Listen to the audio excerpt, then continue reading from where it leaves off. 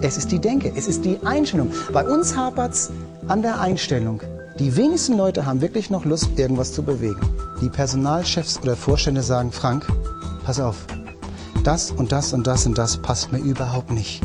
Hau richtig dazwischen und scheiß sie mir alle zusammen. Ich werde wahnsinnig mit meinen Leuten. Wie ich es in den Wald reinrufe, kommt es zurück. Also wenn ich Liebling in den Wald reinschreie, kommt, oder, oder wenn ich Idiot reinschreie, kommt nicht Liebling zurück.